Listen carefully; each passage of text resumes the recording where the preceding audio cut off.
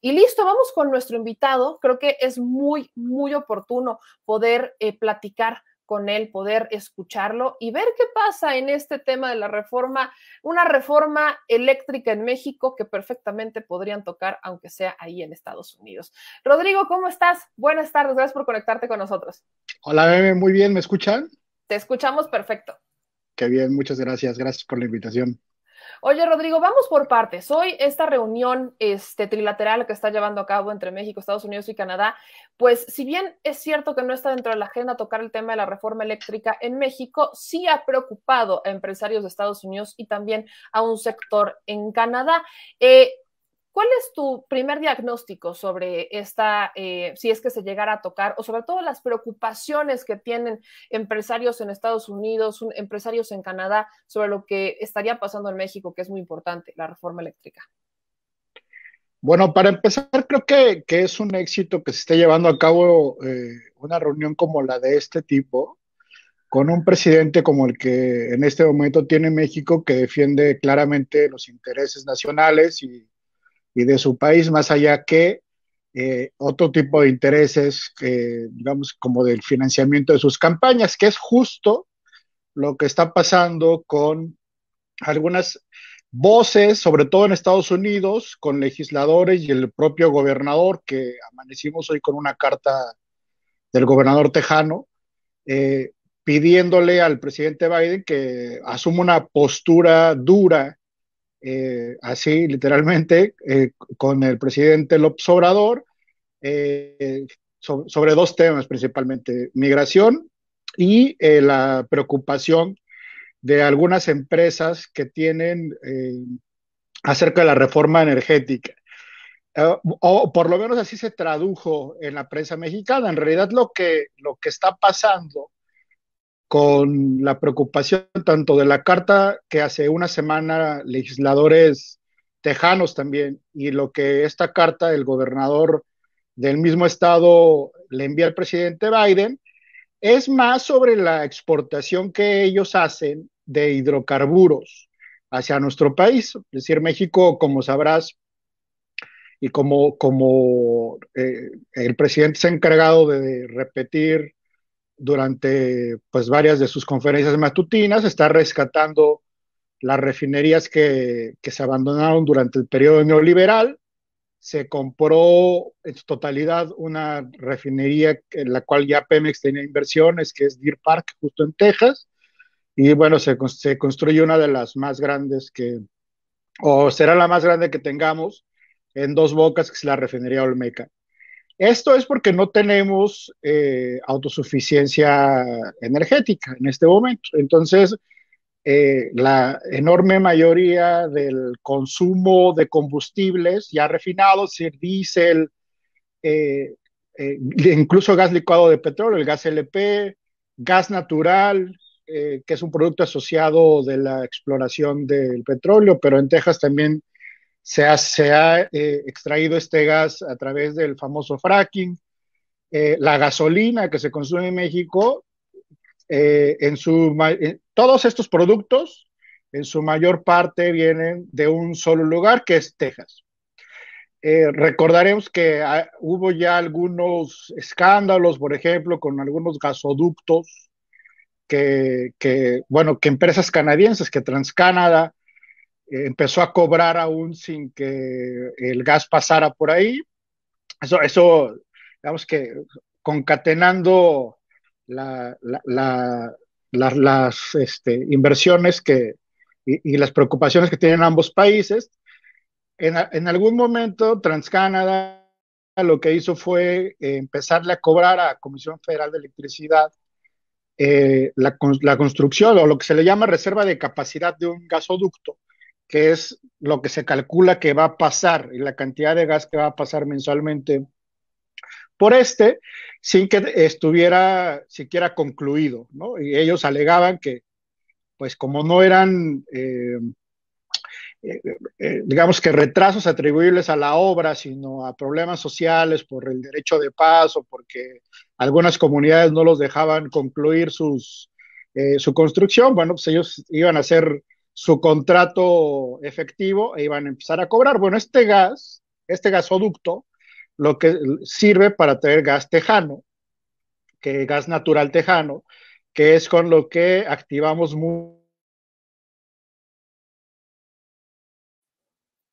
Ahí se nos congeló un poquito la, conexión con, con, nuestro querido Rodrigo. Vamos a esperar aquí que, este, que otra vez se... Ya, creo que ya está.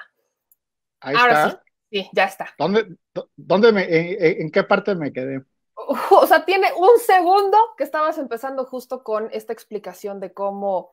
eh, de dónde nace esta queja de los gasoductos, de dónde nace esta intención o la preocupación de, de estas la empresas la reforma eléctrica. Lo, que, bueno, a ver, lo, que te, lo que quiero decir es que eh, el presidente López Obrador va con una postura eh, de jefe de Estado, es decir, y, se espera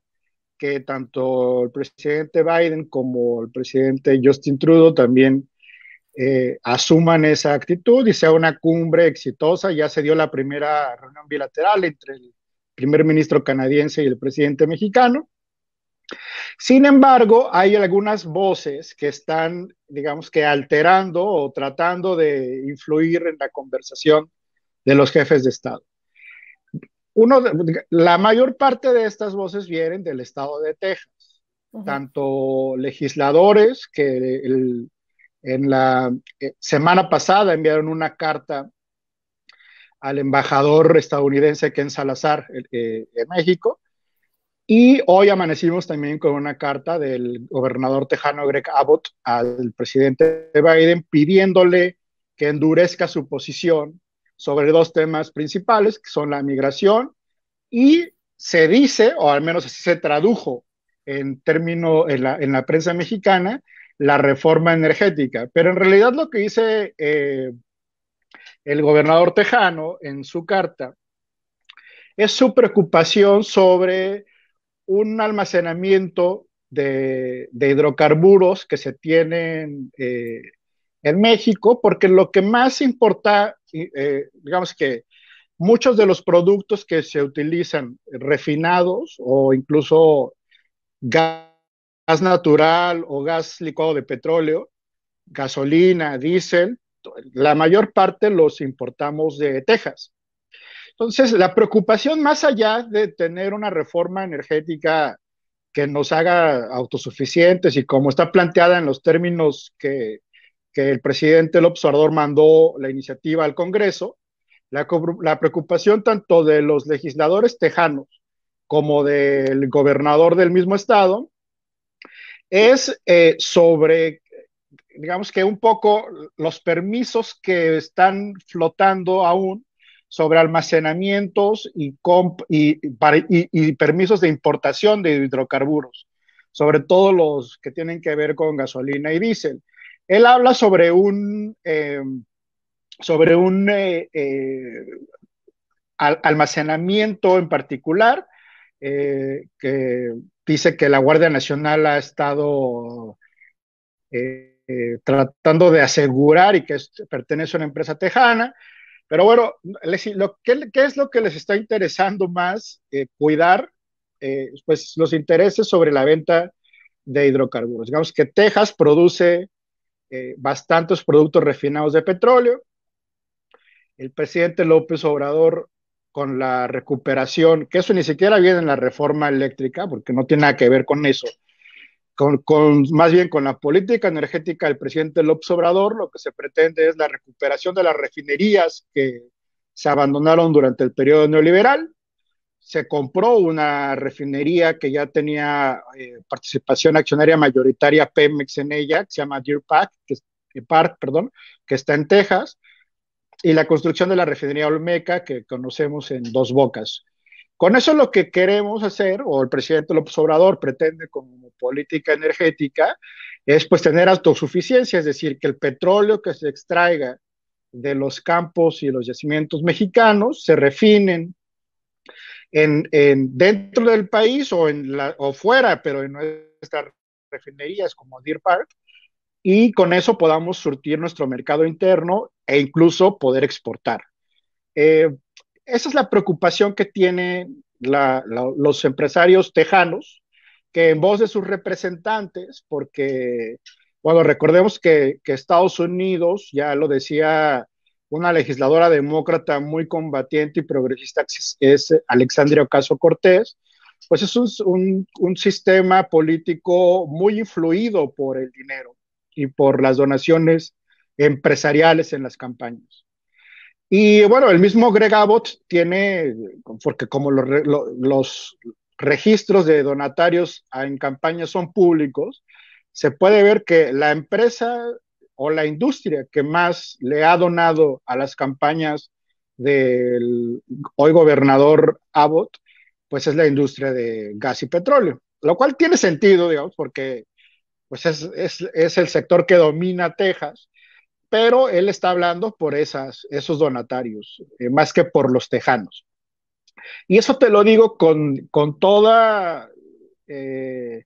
digamos, responsabilidad, que él habla más por los donatarios de su campaña que por sus eh, votantes. Y esto lo podemos saber porque tuvieron ya, Texas tuvo una crisis importante y ha venido teniendo crisis en su sistema eléctrico, ellos producen además eh, base carbón casi el 20%, por ejemplo.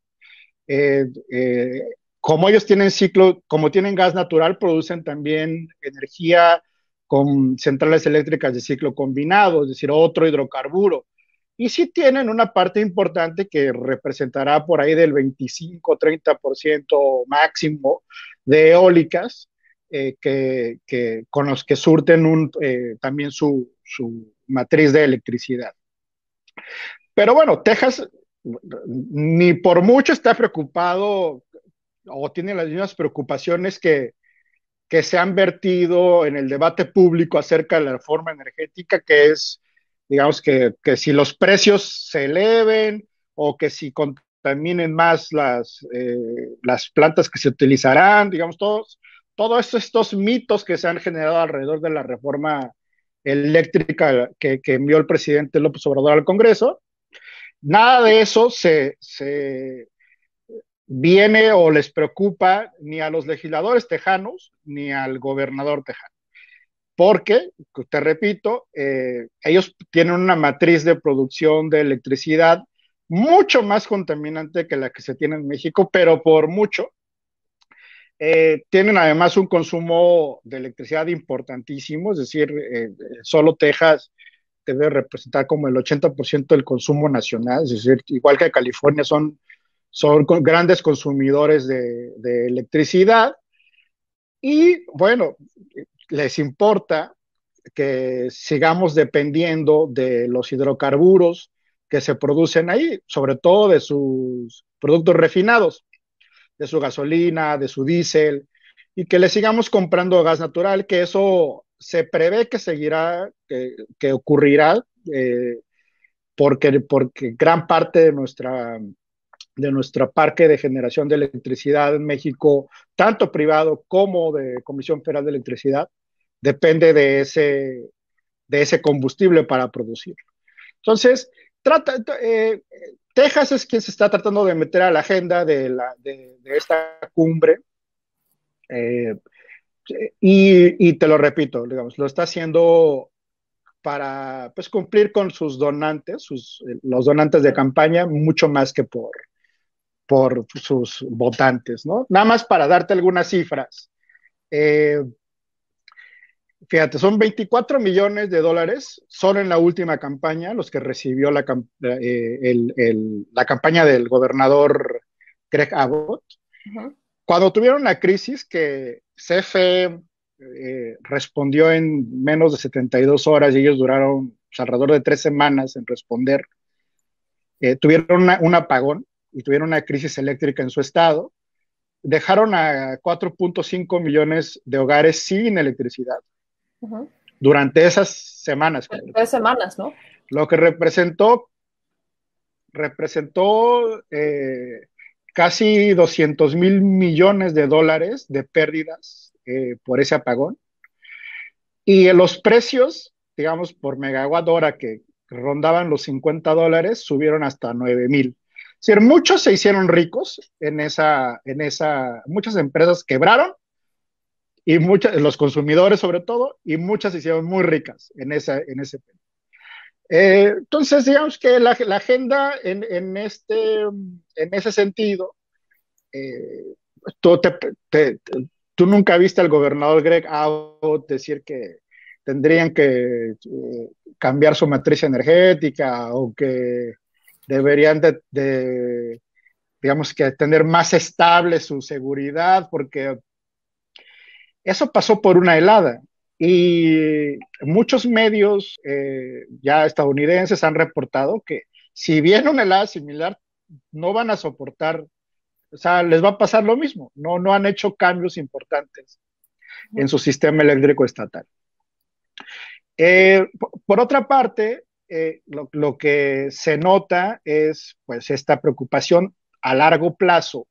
no sobre la reforma como tal, sino, como, sino por la política de autosuficiencia y soberanía energética del presidente López Obrador, que pues ya lo ha repetido, te decía, en varias ocasiones y oportunidades en tanto eventos como en sus conferencias matutinas, que es que nosotros podamos producir nuestra propia gasolina, diésel y los combustibles que necesitemos, incluso el gas licuado de petróleo, eh, a partir de lo que de, nuestros propios yacimientos, de lo que Pemex esté explotando en nuestros campos.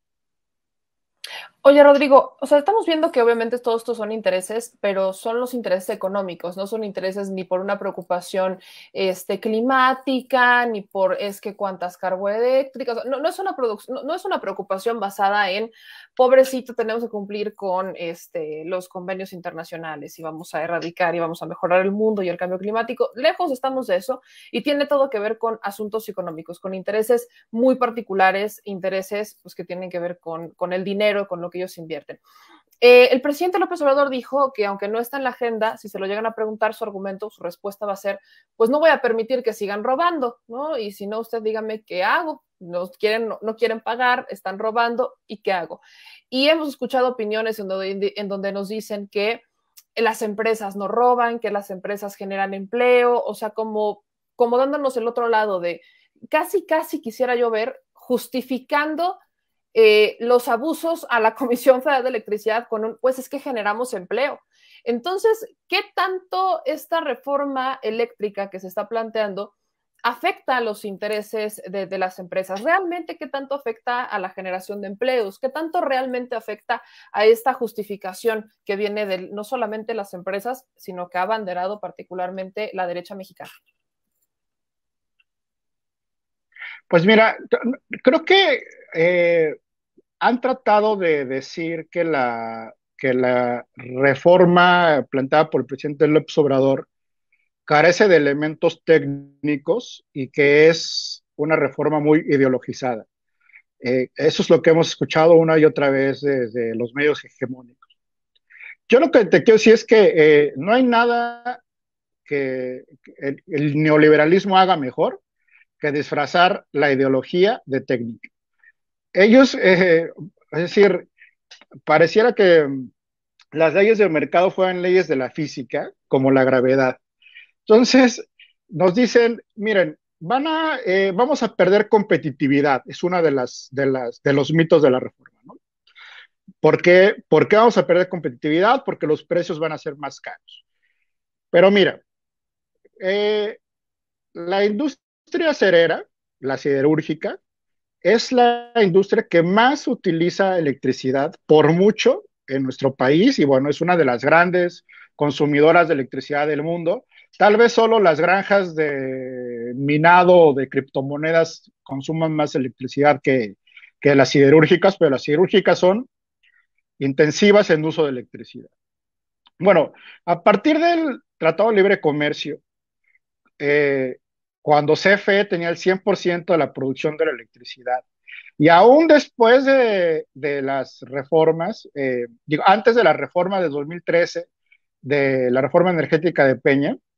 pues muchas siderúrgicas decidieron instalarse y son muy competitivas y producen muchos empleos y son tan competitivas y producen tantos empleos y son tan buenas trabajando en México con los precios de electricidad que se han tenido históricamente, que en 2018 el gobierno de Estados Unidos le puso al acero y al aluminio proveniente de Canadá, México y la Unión Europea el 25% de arancel extra al que tenía. Es decir, ¿cómo perdemos competitividad en una industria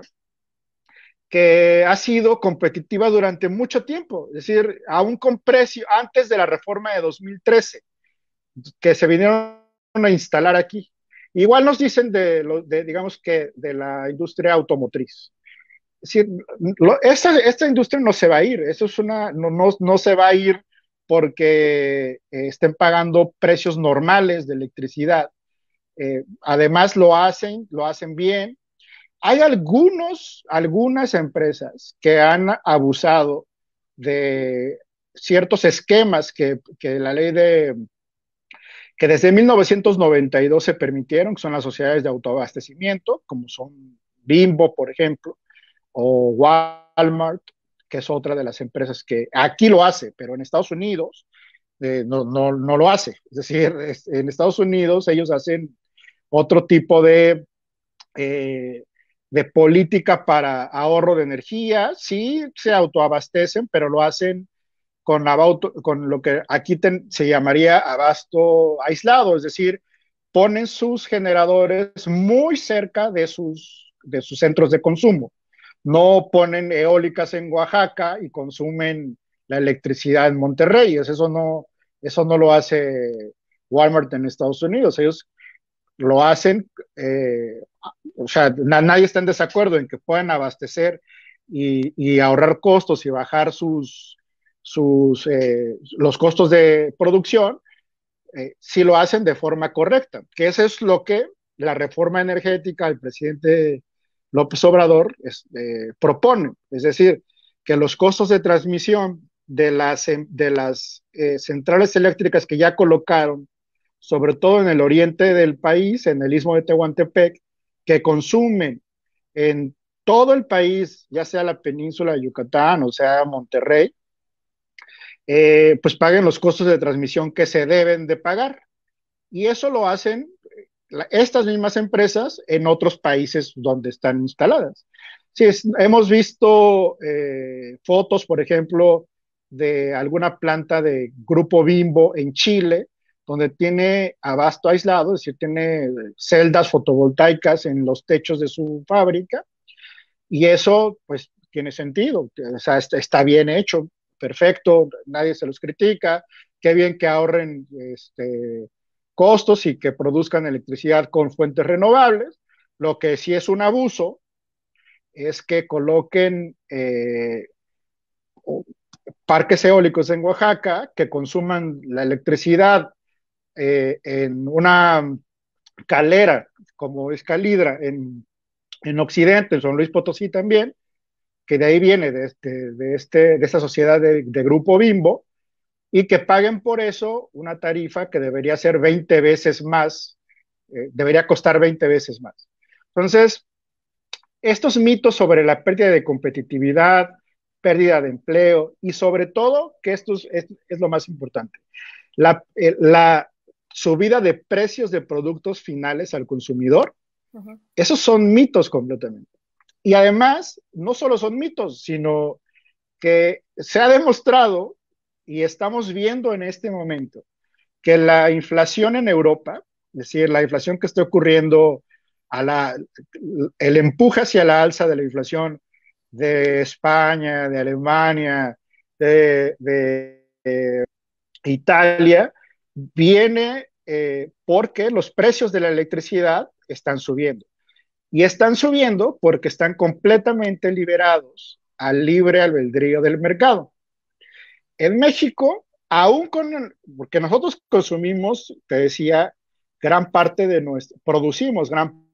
parte de nuestra electricidad eh, con centrales de ciclo combinado y que utiliza gas natural tejano justamente como combustible para producirlo y que es un combustible que ha subido su precio durante el último año o durante este año de forma importante, con saltos importantes, hasta de 500%. Y a nosotros no nos ha pegado. Tú, es decir, tú no ves que, el recibo de la luz de CFE de, de los hogares o de pequeños comercios se ha subido 500%. Es decir, al contrario, es decir, si hay una presión fuerte en las finanzas, lo existe, pero no está pegándole a los, a los bolsillos de los consumidores, que además son quienes van a comprar estos productos que los cabilderos, sobre todo, y la prensa hegemónica ha tratado de decir que van a llevar a que tu refresco enlatado o tu pan en bolsa te va a costar más porque va a pasar la reforma energética. Las industrias competitivas, las industrias con las que México se defiende ante el mundo, con las que tenemos justo eh, en el contexto de la cumbre que, que se tiene con los tres países de América del Norte, eh, que son, digamos, la automotriz, la siderúrgica, pues son, son industrias que no han mostrado eh, mayor preocupación, no han sacado comunicados, no han este, pues hecho ninguna eh, ningún reclamo o fijado posicionamiento alguno, por lo menos públicamente, es decir que no, no tienen, no se les ve alguna preocupación, porque te lo repito, si lo fueron, si las, si las acereras y las siderúrgicas se instalaron en México desde la firma del Tratado Libre Comercio, cuando CFE tenía todavía precios más altos y, y producía el 100% de la electricidad, pues no se van a ir por, una por un cambio en la reforma que empezó a operar en 2016. Es decir, el mercado eléctrico mayorista, que es lo que va a desaparecer, pues, empezó a operar hace apenas dos años antes de que entrara el presidente López Obrador. Entonces, tampoco es que le estemos cambiando las reglas del juego a estas industrias que sí producen empleo, que sí generan muchísima exportación, que sí están en cadenas de valor a lo largo de los tres países, México, Estados Unidos y Canadá, y que, bueno, eh, son, son las que eh, en este momento no, no han eh, hecho ningún comentario en contra de la, de la reforma. Quien sí hizo en algún momento, sobre todo un apoyo y muy efusivo a la reforma energética en 2013 fue la Canacero, que es la cámara que, que agrupa estas, estas industrias, y la presidía alguien que su nombre lo hemos escuchado últimamente mucho, que es Alonso Ancira, que acaba de salir del reclusorio norte por vender nitrogenados a, a, un sobreprecio de 200 millones de dólares. Entonces, bueno, eh, ahí te darás cuenta quién, está, quién apoyó la reforma de 2013 y cómo no, cómo Canacero no se ha pronunciado en este momento. No, ahorita no, estamos viendo eso, lo que vemos otra vez son estos intereses este, particulares. Y aquí hay otra cosa que, justamente con, eso quisiéramos eh, entender todavía más el tema. En entrevista, en una entrevista pasada que tuvimos eh, contigo, justamente hablábamos, por ejemplo, del tema del litio y tú, tú nos decías que Estados Unidos y Alemania son los países que más reservas tienen de litio, pero que no, no las están explotando ya, están buscando explotarlas en otro lado. Y ahorita volvemos a mencionar, ¿no? Cómo las prácticas de las empresas aquí en, Estado, eh, aquí en México son unas, pero en los países de donde son, son completamente distintas. Eso no solamente ha pasado en el sector energético, sino que ha pasado en gran parte de todo lo que se ha hablado de inversión privada. Llegan aquí las empresas a hacer lo que no les permiten hacer ni siquiera en sus países. Y eso, por supuesto, que nos ha puesto en una situación de vulnerabilidad. Pero, por ejemplo, ¿qué pasa con el tema de las mineras? Eh, en el tema de las mineras canadienses, que muchas de ellas, si no estoy mal, corrígeme si me equivoco, tú, tú sabrás más, las mineras canadienses son ocho, al menos mineras, que tienen las únicas concesiones de litio. No sé si son otras, pero creo que son las mineras canadienses. ¿Qué pasa con el tema de las mineras? Hay una situación aquí que, también ha generado revuelto. ¿La reforma eléctrica afecta a las mineras eh, canadienses? Pues las mineras canadienses tienen grandes ganancias y, grandes extensiones de concesiones, eh, durante los últimos, que serán 20 años otorgados, y que además son concesiones ah, para explotar 120 años más. Y, les va muy bien. Eh, son, son empresas muy rentables y que tienen que pagar poco, o sea, retribuir poco al país para lo que ellos eh, en realidad están ganando, ¿no? Lo que, lo que ocurre con la reforma eh, energética, en uno de sus transitorios, es que al litio lo declara eh, como un material estratégico de la nación, un bien nacional, igual que es el petróleo. Eh, y bueno, lo que ocurre ahí es que si ya en este momento las concesiones otorgadas demuestran, las empresas que, que, tienen las concesiones demuestran que han invertido en exploración de los eh, yacimientos, bueno, pues seguirán con la concesión y para eso, bueno, tendrán que demostrarla pues fácilmente, es decir, cuánto se ha invertido, cómo han hecho, qué resultados han obtenido ante la Secretaría de Economía. Los que quienes, las, las concesiones que no hayan hecho ningún tipo de inversión decir, que hayan especulado con la concesión más bien, pues se les tendrá que retirar. Eso eh, no, no, tiene ninguna, eh, es decir, no, no, no hay nada anormal en eso. Un sistema jurídico permite eso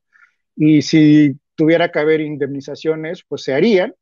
pero bueno, pues si no has invertido nada, si no has puesto un solo fierro o un solo dólar en exploración de una concesión, pues que se te va a indemnizar, ¿estás de acuerdo? Entonces, eh, pues no, no se ve que existan daños